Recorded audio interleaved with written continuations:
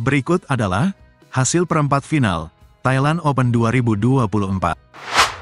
Di perempat final ganda campuran, Rinov Rivaldi, Pita Haningtyas Mentari, berhasil mengalahkan sesama wakil Indonesia, Dejan Ferdinansyah, Gloria Emmanuel Wijaya, dengan skor 21-19 dan 23-21 dalam durasi 54 menit. Rehan Novalkus Haryanto, Lisa Ayu Kusumawati, harus kalah dari pasangan Thailand, Rutana Pak Oltong, Jenika Sujai Praparat, dengan skor 16-21, 21-16, dan 20-22, dalam durasi 1 jam 9 menit.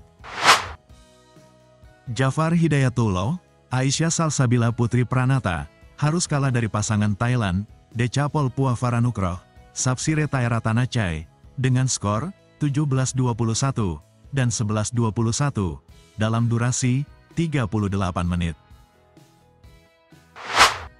Di perempat final ganda putri, Febriana Dwi Puji Kusuma, Amalia Cahaya Pratiwi, berhasil mengalahkan ganda putri Chinese Taipei, Chang Qinghui, Yang Qingtun, dengan skor 21-16 dan 21-12 dalam durasi 45 menit.